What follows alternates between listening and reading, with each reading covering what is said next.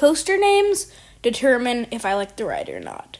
If you're going to name a coaster Mind Eraser, I'm not going to ride it. Unless, obviously. Okay, but today we're going to be ranking my top five favorite roller coaster names. Let's get started.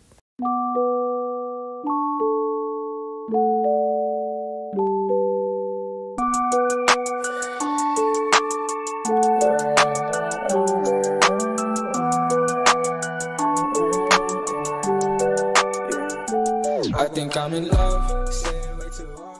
The first coaster on this list is the Shredder. It's a spinning coaster and it's used to simulate a throwing star. And I really love this name. I just think it's so clever. Nothing other than that, just a really cool name and a really clever name.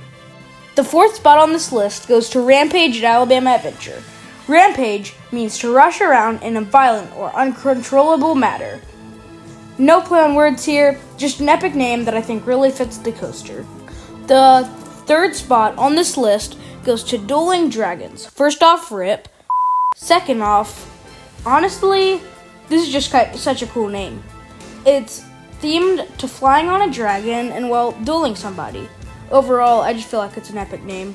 The second spot on this list goes to Railblazer. This name sounds so cool. Also, it fits the ride and is a play on words for trailblazer. And because it's a single coaster, Railblazer just really fits. Now, the number one spot, which I believe is the coolest name for a ride possible, is Verbolten. Now, let me explain. Verbolten is a ride where you are driving and take a wrong turn into the Forbidden Forest. Verboten is translated to forbidden in German. And because it's a lightning bolt that knocks you off track, Bolt is thrown in there.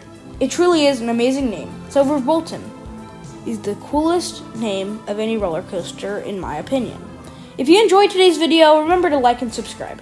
Have a good one, everybody.